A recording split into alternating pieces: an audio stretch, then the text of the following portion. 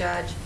Given the seriousness of the, the, the, the supply chain crisis and the, the multiple issues that you outlined, wouldn't it be wise for the secretary to get back on the bicycle, so to speak, and come back to work? A- A new poll found that sixty-five percent of voters think that, given what's going on, he should come back to work.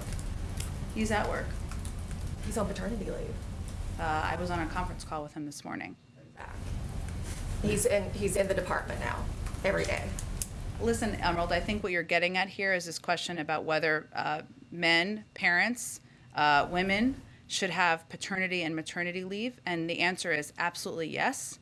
In our view, that is the policy of this administration. That is what we're pressing to make law, so it's a reality for women, parents, fathers uh, across the country, and we're not going to back away from that. This is a little different job than a lot of, and as one of my colleagues noted, we knew the supply chain issues were coming.